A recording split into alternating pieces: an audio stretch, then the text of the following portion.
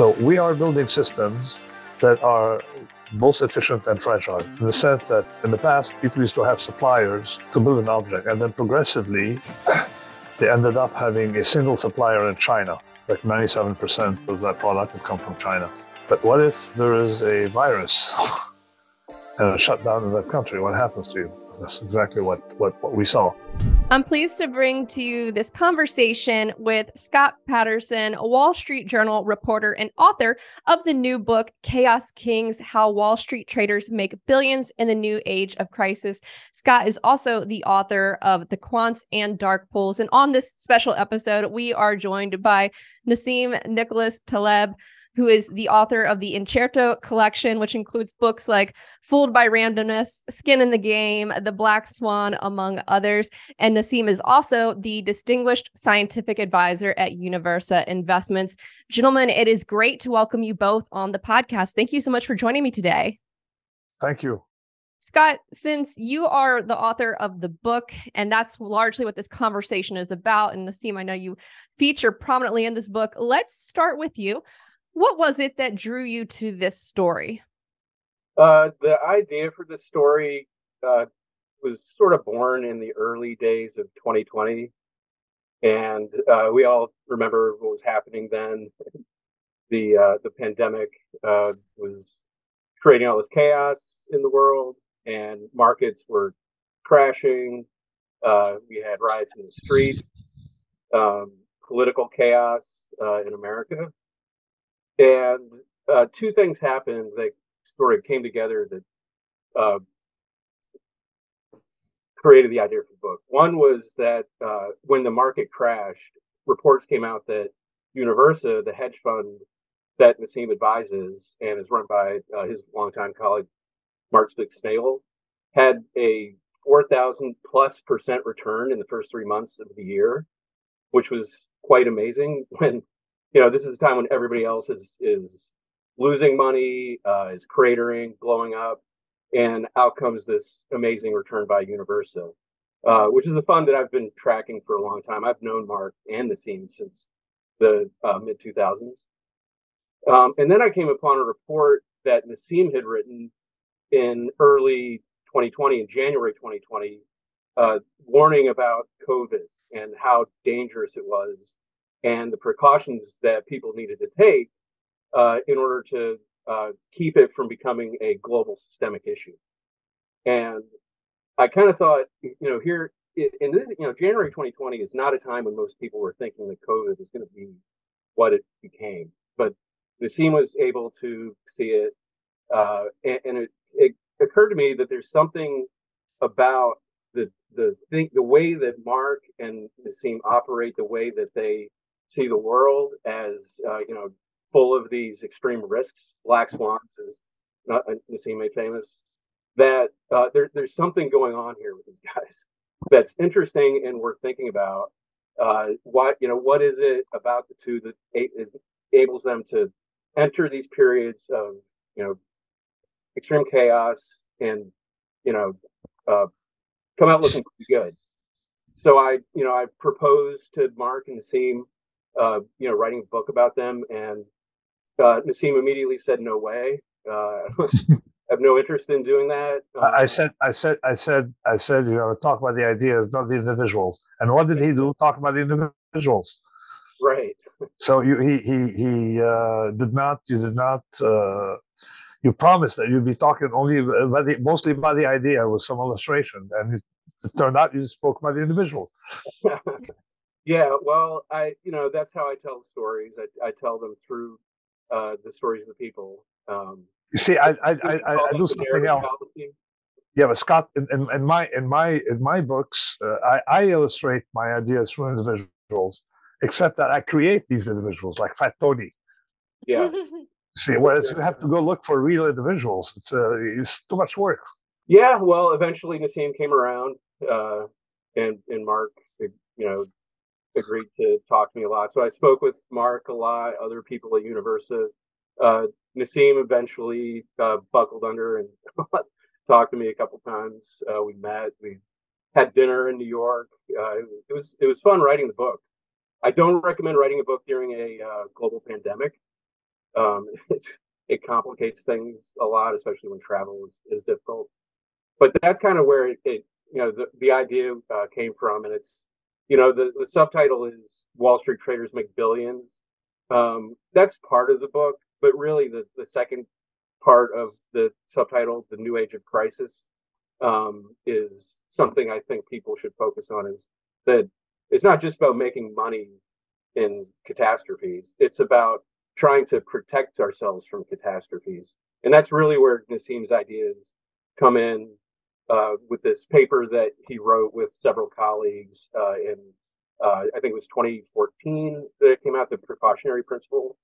And that forms a big part of the narrative too, is, is this paper about, you know, how we should think about these big uh, global risks and what, how can you identify risks that require extreme precaution. Yeah. Well, he certainly convinced you. Nassim, I learned a lot about you just reading this book, and I got to say, I enjoy the people I stories. Let me tell you one thing. I haven't actually, I'm confessing that I did not read the book because I hate to read stuff written. Uh, no, no. Uh, uh, one, I hate to read stuff written about myself, but also I have very little interest in myself. I mean, I have interest in other things than myself. Okay. I'm, uh, yeah, uh, no, I, mean, I would say it, but effectively I did not. But I so but I know what's going on. But uh, but he's a better storyteller than I am. So I I I may one day uh, you know uh, try to read it just to imitate his style. I I think you should read it.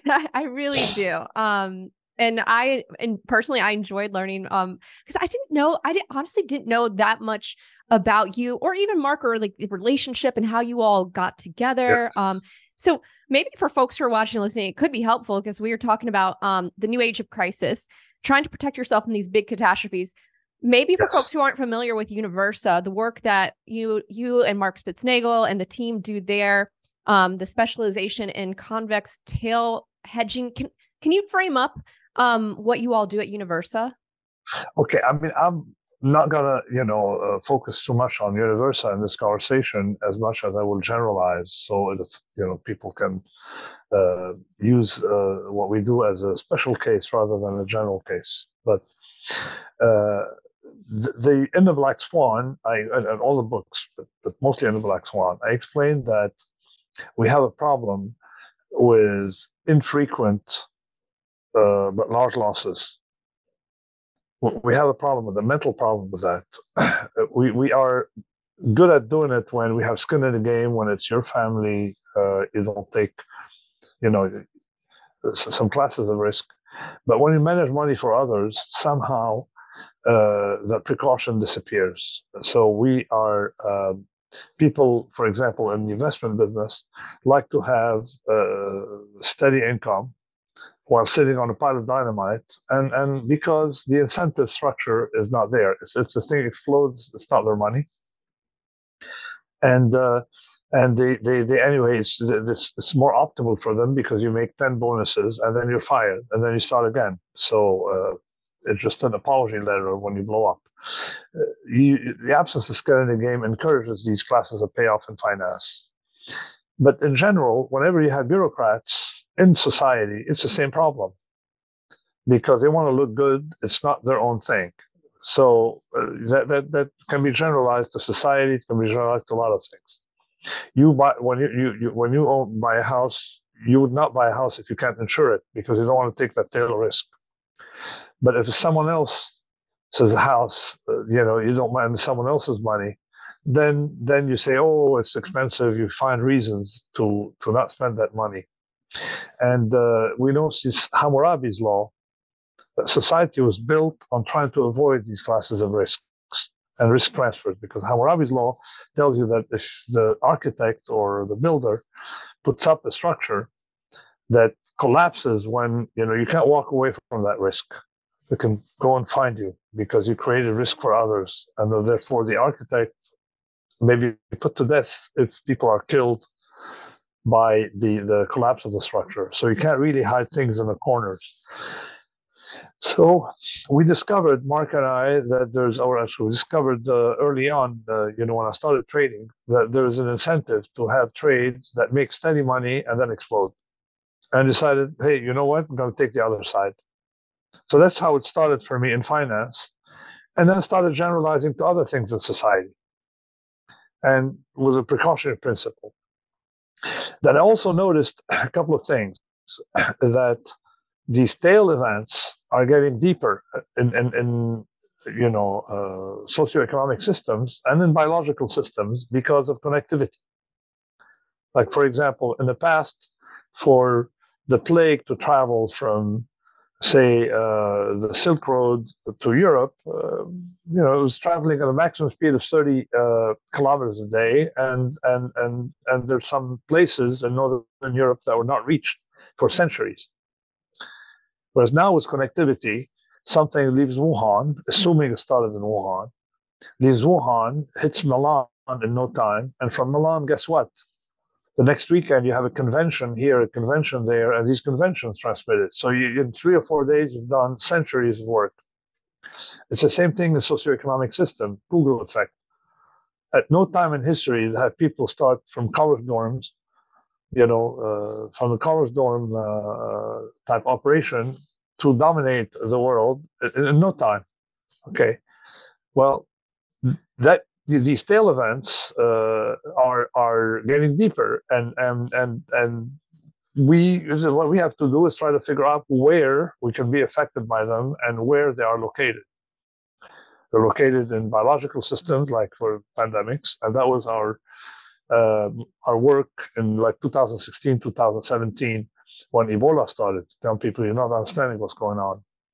That these things can run out of control because of Air France, British Air, Delta Airlines, you know, that we didn't have in the past. So biological systems, you can have socioeconomic systems, and also supply chain. Everything is more concentrated today. You see, you have a shortage; it's going to be a worldwide shortage, but also the system is overreactive. Then you have gluts after that. You see, so so we live in an environment that uh, we must understand, and uh, and and once you have an idea what's going on, that globalization is an excellent thing, but it comes with side effects. That travel is an excellent thing, but it comes with some uh, hidden, very hidden uh, drawbacks. So uh, once you understand the world, then you can live a better life, and that's sort of like we're trying to do.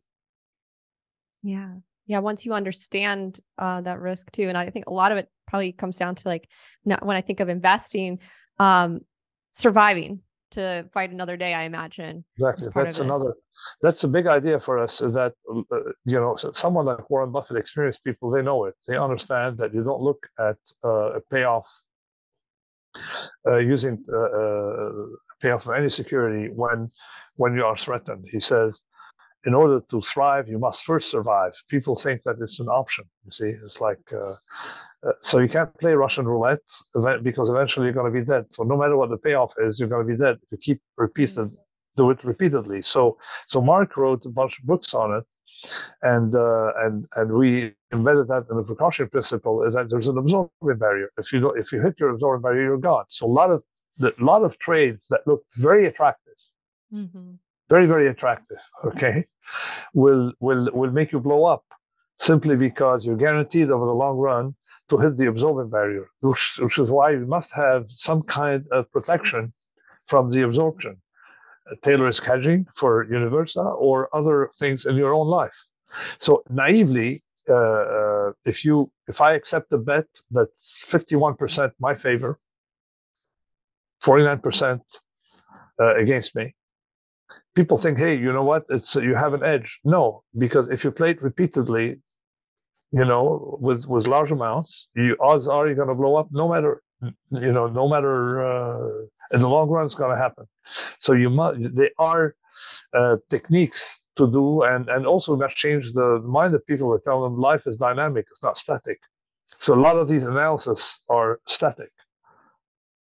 So if you have tiny risk of uh, of uh, blow up, you will blow up in the long run. And one example I give is uh, is uh, you know pilots. If if the plane has very low probability of crashing, you would have no experienced pilots because eventually you would become 100% on the repetition. And, and, that's sort of the guiding principle behind both Universa, the precautionary principle, principle that uh, that we call it non-naive precautionary principle, and and other things. Yeah. Um, I want to bring up an anecdote from the book. Um, and and maybe Scott, you can you can share more here. But um, he told a story about you, Nassim, when you were a young man at the Merc, and it was a story about a, a trader, and, and someone said, "Hey, like, hey, kiddo, uh, see that guy over there? His name is Ed. He made seven million dollars in seven years." And you said, "Yes." And that person said to you, "He lost it all in seven seconds. Now you can go." And imagine that was probably um a very impressionable moment too, because it's like you were saying earlier, sitting on dynamite. A lot of folks are sitting on dynamite. Uh-huh. Um, Scott, I would love to get you to jump in here too with some of these anecdotes of these guys. Um, because it sounds like not only did Nassim learn this early on, um, Mark Spitznagel learned this early on, this kind of realization too of like, I think maybe it's probably a bit of a flaw with modern finances. People probably think, you know, steady gain, steady gain, exactly, steady exactly. Gain. Can I can I run in here to continue the idea to make it clearer for the sake of clarity? And uh, and uh, Scott, I give you, you know, I trade the time with you for later. So the the the whole thing is is very simple. Let's say, can I lose weight in a day? Can I gain a lot of weight in a day? No, because I consume about 800,000 calories a year. Not a single day is going to make a difference. Plus 2,000 calories, minus 2,000 calories, it's not going to make a difference. So I'm not going to lose 10% of my weight in a day, but I can lose 100% of my money in a second. So we're talking about two processes that are completely different. And these processes, what I call Extremistan, generate fat tails. And finance is one of them. And the tools used in finance uh, was just passed today. Uh, you know, it's uh, he's a great person, and and he did not intend to have generalization of his work uh, done in such a manner. But modern finance is based on what I call Mediocristan on the bell curve that completely underestimates the effect of these things. Like for like as I said, it's calories you consume every day. They follow a bell curve. But the P&L of a company or P&L of a trader does not follow a bell curve. The distribution of, of, of viruses does not follow a bell curve. So we're talking about different processes. And once you exit that uh, classical finance framework, uh, the, very little has been done. Sorry, sorry, Scott, I interrupted. Yeah, well, I mean, another anecdote from the book uh, is Mark learning how to trade at the Chicago Board of Trade and uh, he's taught by a veteran commodity trader that he needs to, uh, you know, what he called love to lose, which is not the way most traders think. Uh, most traders think I'd love to win, I love to gain. So Mark learned really early on that you have to do something that's sort of unnatural, that you have to cut your losing positions very quickly in order to avoid the, the big tail risk. Um, and that's something that you know that mentality he brought that to uh, uh, empirica the hedge fund that nassim and, and mark founded in 1999 which is kind of a, you know when you're buying these options that only pay off in extreme events you're losing money every day which can be very painful uh, as nassim knows. You know when you're uh, you're just sitting there your your p&l keeps going down uh, that is exact the exact opposite of how most of Wall Street works, which is you want to see your P&L go up a little bit every day, but there's that hidden risk that Nassim is talking about, that powder keg is going to blow up. And that's really what Nassim and Mark discovered is that's really what you need to think about more than anything else is the big downturn, the big 50% or 100% loss that, that blows you up. Think about that more than anything, and then you'll be okay. You'll, as you said, live to you know trade another day yeah um i i want to explore too uh, just a bit more um because i'm thinking about that extreme downside but also like the fragilities in the system and um Nassim, maybe you can frame it up here of it seems like maybe we're getting increasingly more fragile. Um, what are the big risks or the fragilities that you see? Maybe if we could zoom out more of the big picture macro environment that we're in today so uh, let me start with a simple metaphor, generalizable, and we go from there. Uh, can you have an accident walking that would kill the person uh, uh that you hit? No, at, at, at small speed, It's not going to happen.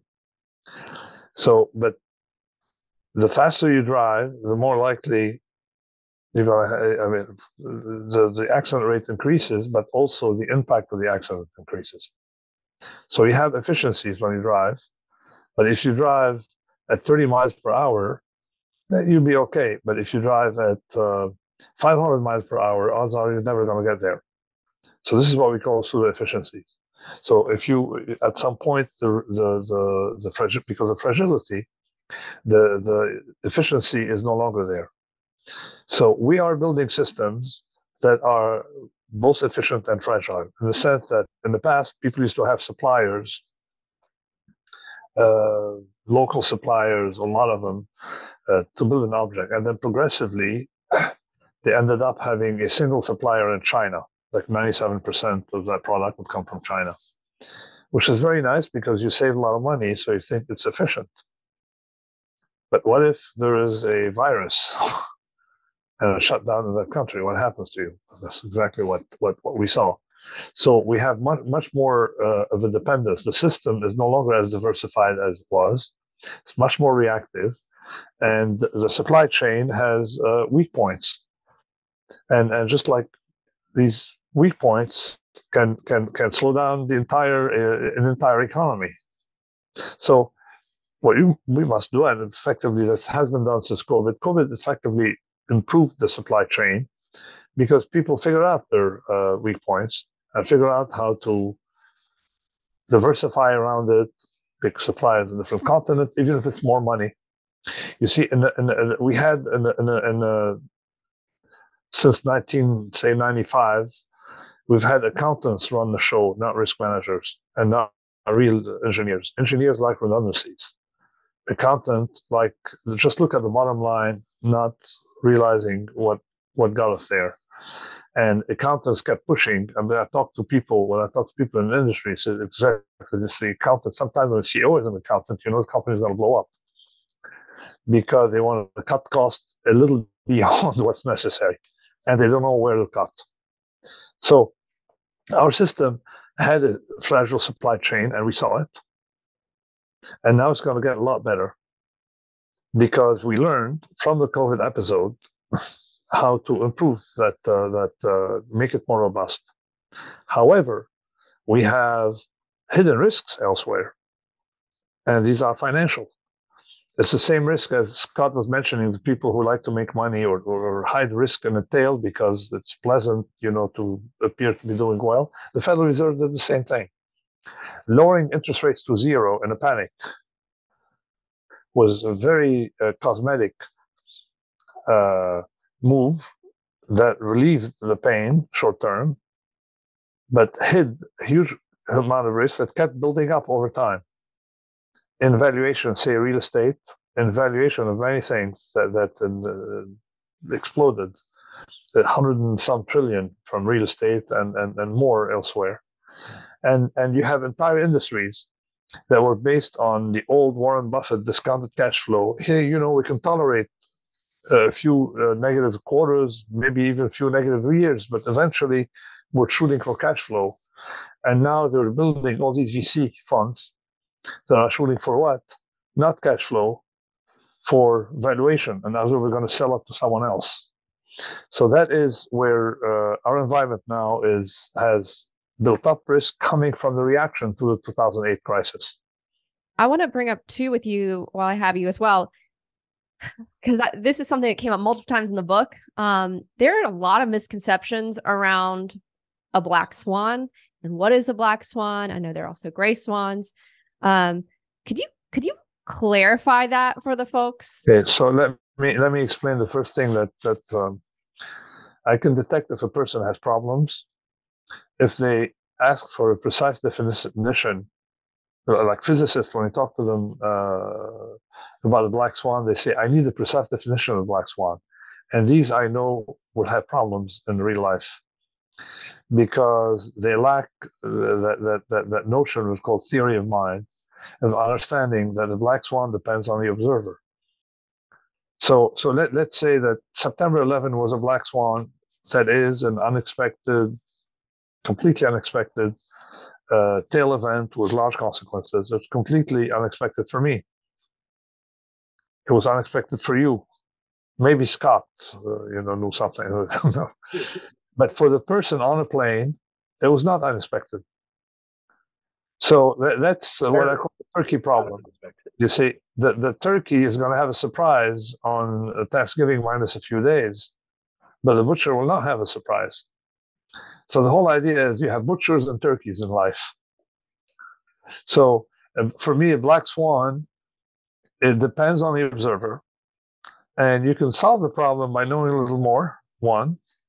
And two, by more intelligently, but not trying to predict it, but trying to figure out how robust you are for these classes of event. To give a very simple example of robustness, if I have cash in a bank, I don't have to predict the environment. I don't need to know what will cause a crisis. I don't have to, you know, be hand to my computer screen, which anyway won't help. I got reserve and I'm robust. I got cash in the bank or cash under the mattress or gold or something, you know, in in, uh, in, a, in a vault, you know. So I, I I'm okay. I don't have to predict the environment. But if you have debt, you're going to be nervous. You're going to need to predict the environment. So there's a difference between the robust and the person who is fragile, hence much more dependent on the environment and on absence of black swan. so it, it's it's it's the same for portfolio for a lot of things. We don't need to understand why the market can crash. If you're protected, you're protected. So you don't have to read the papers, try to understand what's going on, uh, you know, be have been to the media. And this I understood early on when in 1985, a, uh, fellow, I was working, I would not name the bank because there was a fellow who read every single, he stacked every single newspaper. The Times, Financial Times, everything. And then the magazines, I read everything so you want to know what's going on. At the time, we you know, we didn't have the, the, the internet. And someone pointed out to him and said, the guy, the people who make money have no idea. They don't read the papers. And when they read the papers, they read the New York Post, which basically they get some New York City gossip or New York area gossip. So I realized in 1985, I said, you know what? I'm going to go with the with the with the people who read the New York Post. So not try to predict the environment, but that's what, or, or try to understand how to hedge yourself better or how to maneuver with it a lot better. And that saved me. And then later on, I realized that effectively there's no predictability to reading the paper, but I got that early on. It saved me a lot of time that I spent reading other stuff. So the key here is if you need to understand the environment, then you're already in trouble. Yeah, I mean that's a that's a lesson that Mark also learned early on with the the commodity trader uh, at the CBOT. He said he got obsessed with trying to track corn prices, and he'd actually like go look at corn fields and see what try to figure out what the yield was, and he'd come to the trader and he'd say, you know, look at look at the you know uh, farm production data, and, you know, all this other stuff, and the trader'd say, it's bullshit. Nobody can predict the prices you have to be robust to the downside, cut your losses, and then you'll survive. And it's it's really interesting how these two different ways of looking at the market that you know Mark and Nassim came together and sort of formed this. You know, they they learned things differently at different places, but they had they kind of developed the same strategy that allowed them to uh, survive during crashes and black swans. So in, in, in anti-fragile, I explained that if you're convex, and other you have more upside than downside. If you have optionality, you you don't need you, can be completely dumb and and outperform an IQ of a thousand. And I explained, I showed it even mathematically.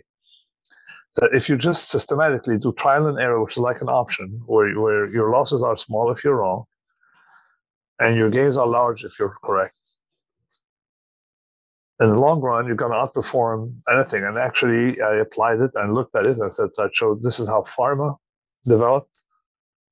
It's all because they're convex. In other words, they have small downside, from their er- errors. And, and usually, a lot of successful uh, drugs are errors because they're the side effect of other drugs. Like you look for uh, for uh, blood pressure drug and you make a mistake, and it turns out to be Viagra. so you have upside from your mistake. So, but anyway, you want uh, it's, it's, it's sufficient to have optionality Yeah. the long run, so long as you don't pay a lot for it. Um, Now, now the second point is to to show that you're not really paying too much for optionality. Yeah. Let me ask you. I know you you probably have to go. out. I don't want to get one more question in for you, Nassim. Yeah. Um, because you're talking about like small little losses, and then you have explosive upside, um, the convexity there. I'm curious because there, there are copycats or that try to copy you guys and your strategy that y'all pioneered. What is it that separates you all? It- there's, I imagine it's got to do with the psychology too, to be able to stomach the little losses. So this is this is uh, central. Uh, as I, as we say, God is in the details. You see, between a naive strategy and a uh, sophisticated one, you have 25 years of experience, and it takes a lot, a lot, a lot of uh, experience to you know to execute these trades. Because if you pay up a little bit, and then again, uh, you know, you do it repeatedly, you, you get out of, you become out of business. So you have to know what to buy. So we develop experience. And in the beginning, of course, uh, we were new to the business, and uh, and of course you uh, don't do very well in the beginning, and, and you do better than others maybe because everybody's new, but uh, progressively you get better, better, better, better at calibrating your, your thing. So it's experience and, and execution.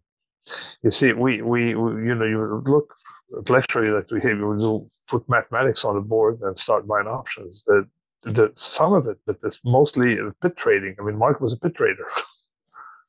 so working the orders is, is essential. Okay, there is one thing I want to bring up with you because in the book, and and uh, after you leave, I'll get Scott to delve into this. Um, they're kind of like these two tensions or two different battlegrounds. So you have um Black Swan, Black Swan theorist, um, and then there's also the introduction in the book from of Sornette's uh Dragon Oh, okay. Kings, which are that they Yeah. can be predicted. I want to get your take on Black I, Swans I would, versus okay, I'm Dragon gonna, Kings. I'm gonna be very, very uh, brief. I was very uh, nice to Sornette when we had that debate, and he was surprised, and uh, I represented this point. But um, how can I explain? Um Debate is in the book, by the way. sorry, The, the the debate is in the book, yes.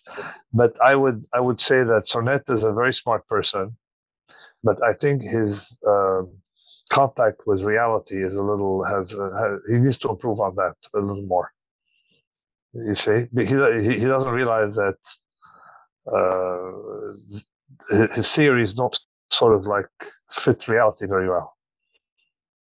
Why not? I did say that publicly, but I'm going to say it now. All right. Do you want to elaborate?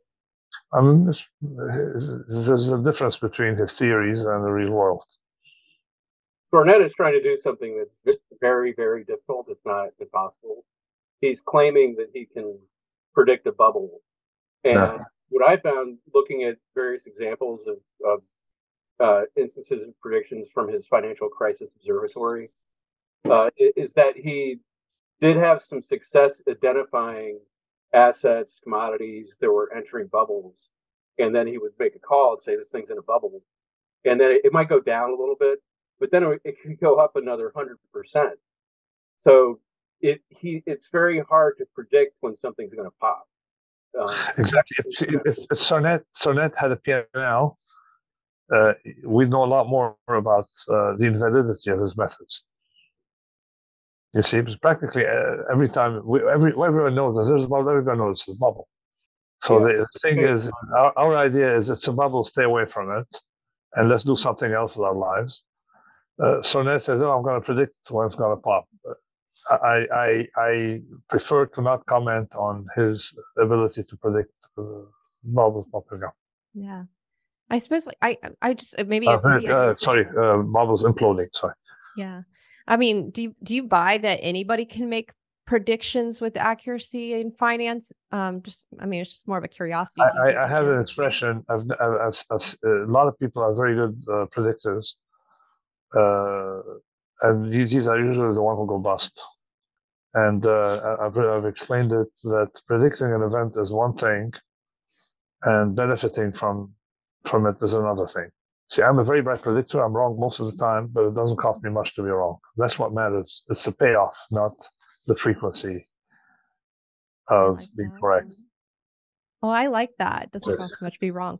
Well, Nassim, uh, I'd oh, say thank, thank you. Thank you so much for being so generous with your time. I really appreciate you coming on.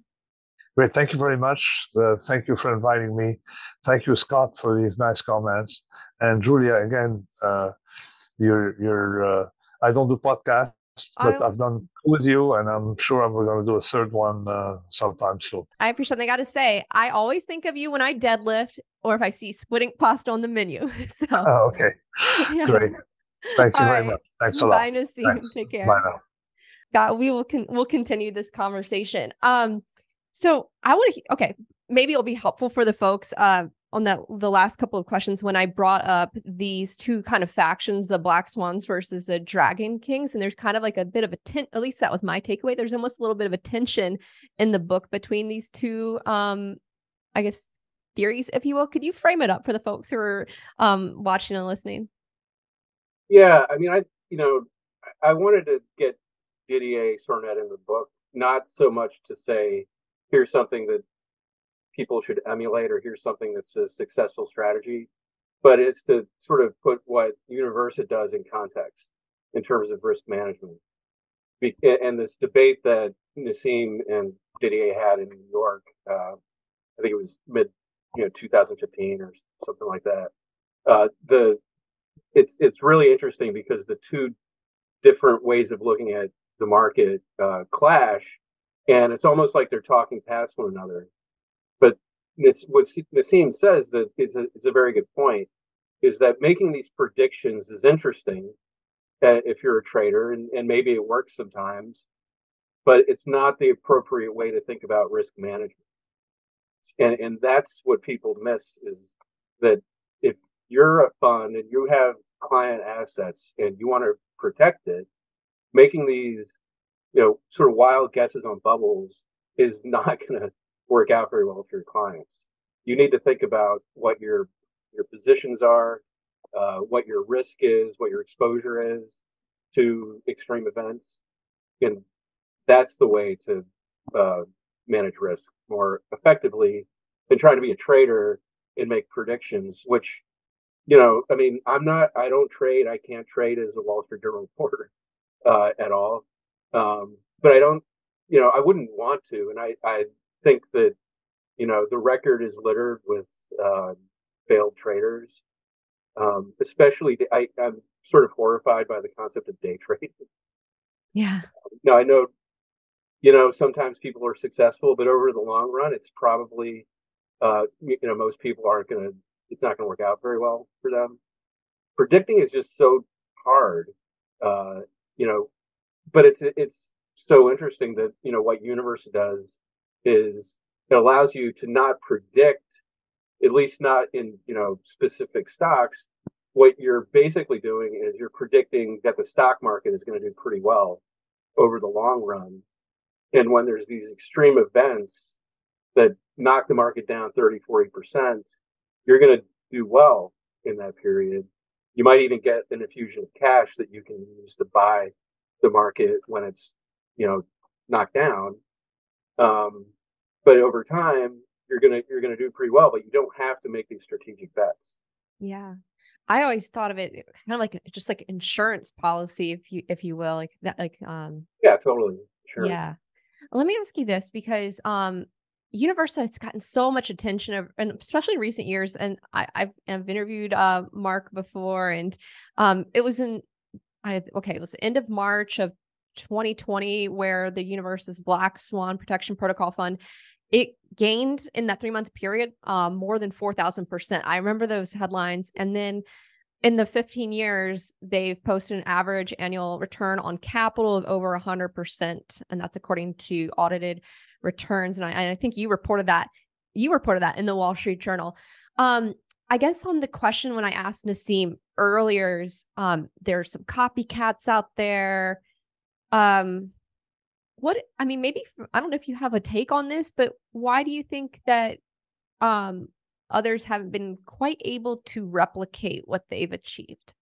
Uh, it's you know, I think what Nassim said was probably the best explanation is that they've been doing this for 25 years and you learn a lot uh, about the market dynamics and where to go strategically to make your trades. Uh, you became you, you, become a known entity to uh, firms that are looking to enter to be a counterparty to these trades.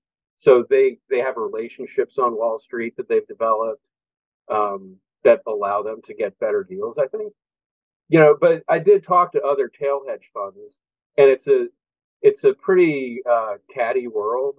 Mm-hmm, yeah, yeah. like Seen that all, on Twitter. yeah, they. I mean, they like to snipe at one another and say, "Oh, those returns are." You know, there's some controversy around how Universa reports its returns. You know, I say, well, you know, they invented this thing, you know, so they can report their returns however they want. you know, they're not coming in and, and copying the strategy and saying, trying to act like a more traditional hedge fund. So their returns are legitimate. You, you know, people try to say they're not. They are. They are. Um, I, I think that uh, there, you know, it, it comes down to entering the trades most cost effectively. I think that's you know to to survive during the fallow periods where the market is is going up. Um, knowing when to trade, they have uh, signals that say, okay, now's a good time to buy. They have signals that say, now we got to cash in. Um, and so it's not uh, uh, it's not like an algorithm that it's all autom- automated, but they do have things like that that you know it, according to my conversations with them, give them signals based on their historical record. Yeah. Well, now that Nassim's not here, let's talk about him. Um, because my guess is he's not going to watch or listen to the podcast since he confessed that he ha- he has not read the book. I actually I read your book actually, and um, I'm amazed too that you know, okay, he didn't want to participate, and then he did, and I learned a lot about him, like maybe some more personal things I didn't know, and um, also maybe a lot of folks follow him on Twitter and he's kind of known for his, you know, slinging some insults on Twitter, although I haven't I haven't been subjected to those and I have not been blocked. I'm actually followed. Um, but gosh, was there anything that you learned in the process? You've known Nassim for 15 years, maybe more than that. I might be wrong. Maybe you've known him since the Empirica days. Is there anything that surprised you in this process of reporting the book about Nassim or anything that like maybe folks miss about him or they don't quite know about him that you got to learn? Um, he, I mean, he's a he comes off a lot of he's a very divisive person, right? And uh, when he doesn't like what you're doing or saying, he will tell you that. Uh, I think it, um, it, it, that turns off a lot of people, you know. And he can he calls people names. Uh, I know that's something that Mark is not a fan of. He kind of feels embarrassed sometimes when Mark gets in these Twitter spats, like one I recount in the book with uh, Cliff Asness of AQR, mm-hmm. where they get in this fight over AQR's returns, and Nassim is saying he doesn't understand the strat- the strategy, Taylor's strategy, um, and I think Nassim probably has a good point. Um, just when you look at the, the success of Universa over the long run, um, but you know, I've never had a problem with Nassim. I, I think he's a he's a personable guy when you get to know him, and if he likes you, uh, he's fun to be around. I've had you know gone out to dinner with him, had drinks with him, um, and I think that you know early on when I first got to know him in 2007, uh, I was a big fan of Fooled by Randomness. I was, at the time I was covering hedge funds uh, for the Wall Street Journal, and it was sort of like this underground uh, book that hedge fund managers loved, and you know, even though it's said that they're most of them are, uh, you know, the ones who are fools. But they wait, was that the fool? Wait, you said fooled by random randomness? Was that the book? Yeah, fooled by random. Yeah, yeah. Which is so. This is pre Black Swan, mm-hmm. um, and I, it, I really liked the book. It was it, uh, you know, I come from a liberal arts background. I studied English in college. You know, so when I got out of college, I could tell you a lot about 18th century English novels, you know, or postmodern American novels, nothing about the market. Um, but then I, I moved to New York and I started, you know, working in finance.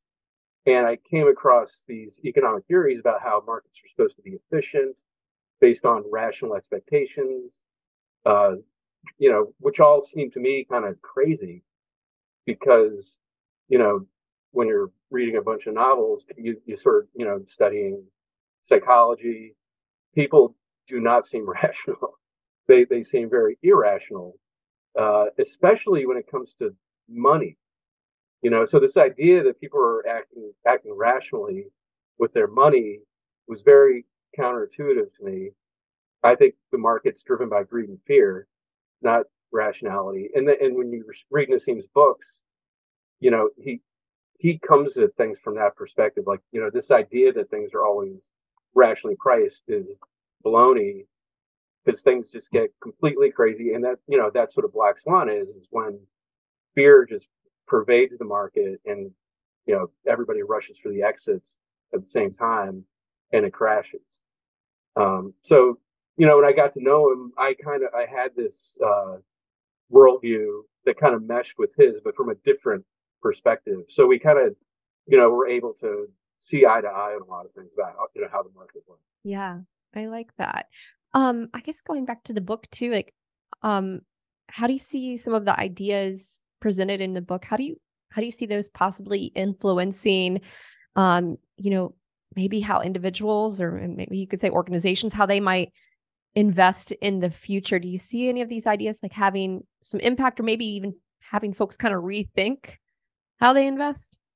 Uh, yeah, I mean, I think that you know, talking to Mark and other people at Universa, they uh, just continually encounter an inability to understand the strategy um, by you know pension fund managers, just you know many people in the financial world.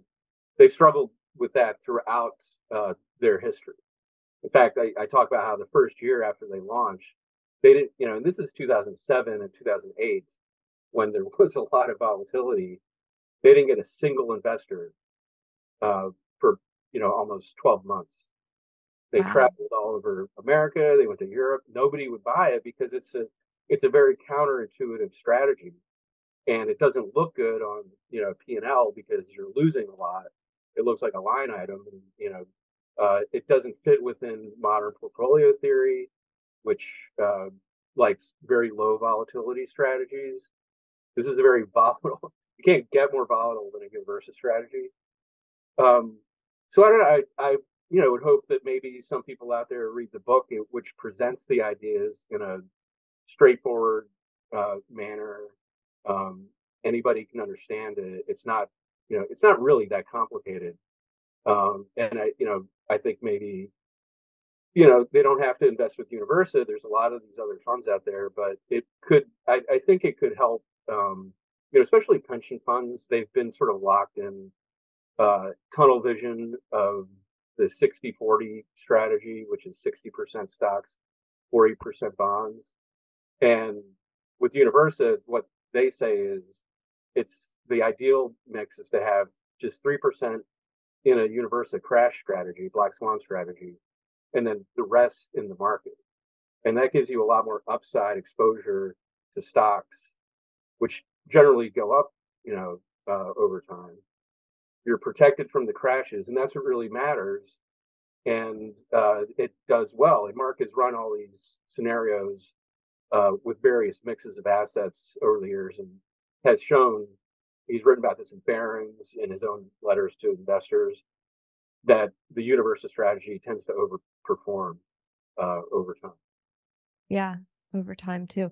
Um, I want to go back to something at the very beginning of the conversation too, because just kind of mentioning even the the title, the subtitle of the book, if you will, um, how Wall Street traders make billions in the new age of crisis. And we didn't really get to explore this as much. I, I, I mean, I kind of asked Nassim, but I want to hear this notion of the new age of crisis. Like, what does that mean to you, or what did you? What does that mean in your own process of writing the book? Yeah. Well, I, you know, like I said at the start of the interview, it was born in the, in the crazy days of uh, 2020, and you know, anybody. I think I, things have gotten a little bit more calm since then, but looking around, it felt sort of like things were unraveling in all sorts of different places, and that maybe there's something going on here that's just not that con- confluence of a bunch of extreme events, but extreme events exacerbating one another at the same time and making the making the whole worse than the sum of parts. Um, and so there was this feeling of unraveling. Uh, we had extreme chaos in the political sphere in the U.S. with uh, polarization. Um, I actually I covered the January 6 hearings for the Journal last year, so I I had a lot of exposure to to what went on there.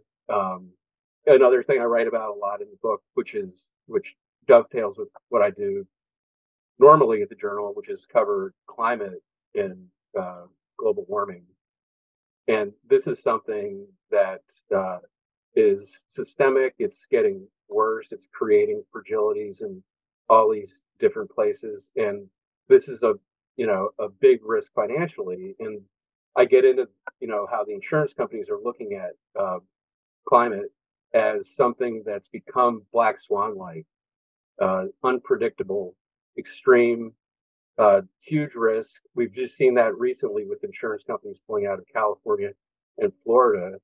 Um, so these things magnify on one another. Uh, they create social upheaval. Um, climate creates, uh, you know, causes uh, populations to shift.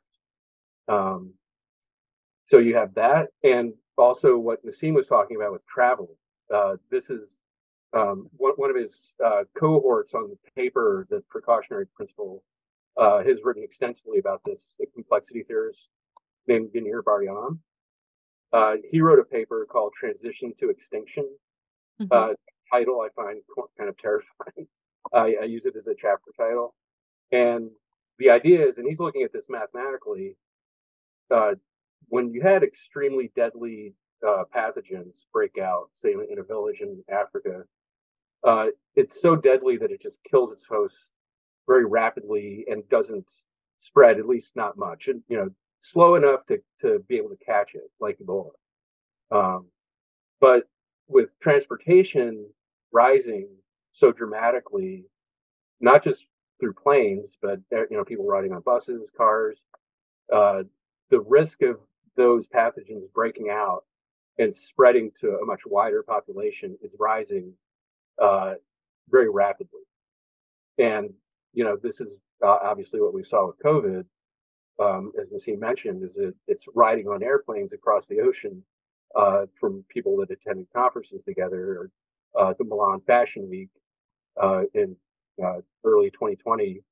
Um, so there, you know, it's a bunch of different things. We have, you know, increased complexity in technology, and, and it's magnifying itself. So AI, you know, everybody's talking about AI now. Mm-hmm. Uh, it's something that um, some experts think could could accelerate very very rapidly as AI uh, creates itself and becomes so complex that its creators don't understand how it works. And I think we're, you know, according to some of my reading about uh, AI researchers uh, and programmers, is we're kind of already at that point where the way these systems work uh, is so complicated, and what's going on inside the black box um, is has uh, sort of jumped beyond the capacity of its own creators to understand.